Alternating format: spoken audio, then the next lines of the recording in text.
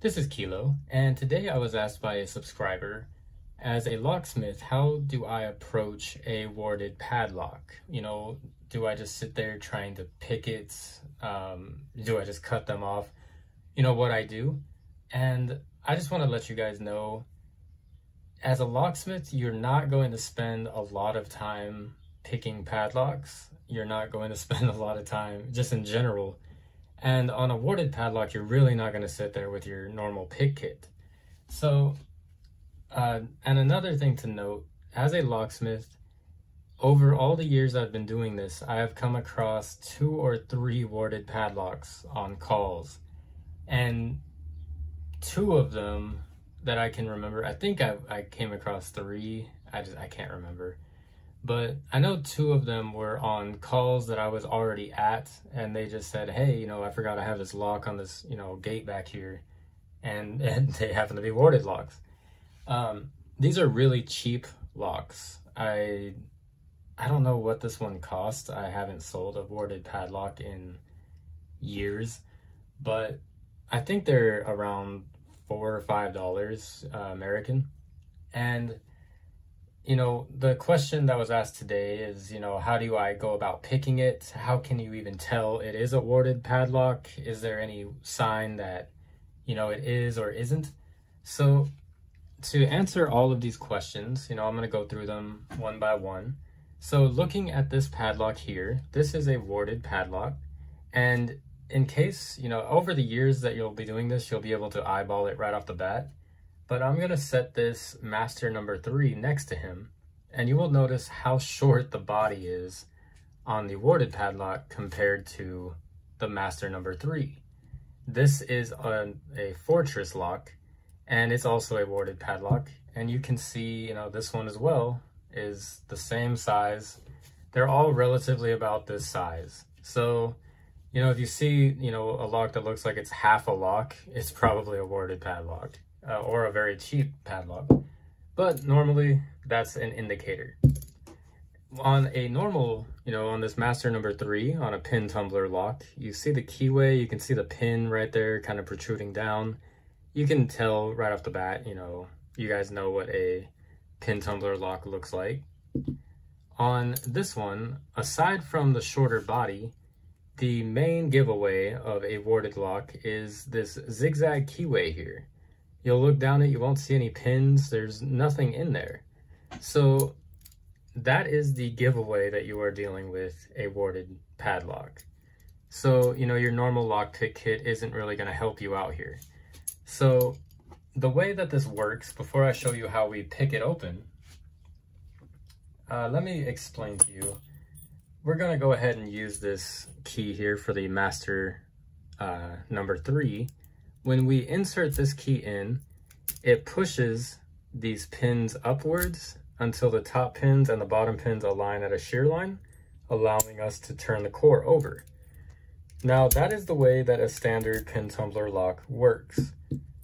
With a warded lock, the key looks a lot different. It's got these notches cut out. They are perfectly squared off. They are not, you know, angled in any way. And to kind of give you an idea here, let's say we push this key into this lock and I'm going to use this Kwikset removal tool to simulate a ward. When we push this in, these notches are cut at a certain depth to where it's going to bypass the ward and allow a full rotation of the key. If this was the wrong key, let's say the ward's here, and you put this key into another warded lock, it's going to, you know, it's not going to be able to move. It's going to get stuck on this ward and you can impression it and keep filing this down until, you know, you get it to pass through. So that's the way that this works. Once you get a full rotation, it actuates the mechanism and allows you to unlock the padlock. So the way that this works, you put this in, you twist, and you pull the shackle out. To put it back in, you have to insert the key, twist it the same way you did to unlock it, and you set your shackle in, and you can lower it to whatever, you know, height you want. So let's say that we get to one of these and we don't have this key. Now what I use is a set of warded pick keys. I picked these up from Sparrows Lockpicks, as many of my tools are from. Um, Sparrows is a really quality site to buy your tools from. I do have SouthOrd, I have Peterson, I have a lot of different tools, but I've noticed that for the price, you really cannot beat Sparrows. They are, in my opinion, better quality than a lot of the SouthOrd picks. They've held up. I've had, you know, SouthOrd picks break on me and the picks, the exact same style, like a Bogota from Sparrows lasted three times as long. Just in as a locksmith, that's saying a lot because we we get kind of rough where in the lock sport community, you're a little more delicate with the picks. We kind of get a little crazy. So these are, you know, a set of five, and these are all different depths, different, you know, gaps here in the, you know, spacing here of, you know, where the ward might be. So all you got to do is pick up a kit like this. I will leave a link in the description below. And you can start out with, I like to start out with this one. Uh, personally, this usually gets it done first try on most of the locks.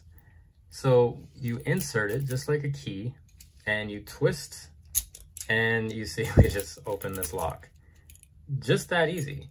So, you know, it won't push back down until we turn it, you know, we push it back in, actuate it, allow it to drop back down. So this just simulates a key. Now let's say this one doesn't work. All you got to do is grab, you know, your next one. We'll even try this one, see if this one works. This one is too short. So, well, oh, no, that worked.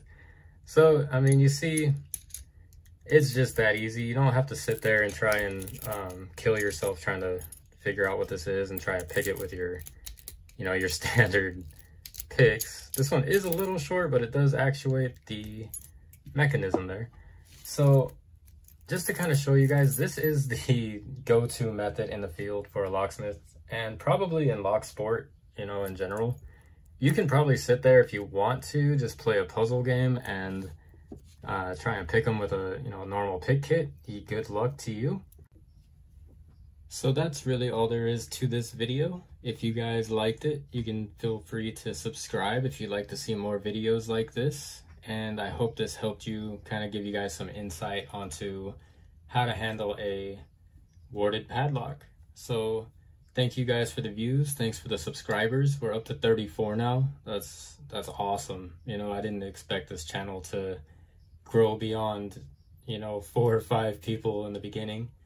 So I wanted to thank every one of you guys and I appreciate you. So as always, you know, stay safe out there. Don't pick locks that don't belong to you. And as always, have a nice day.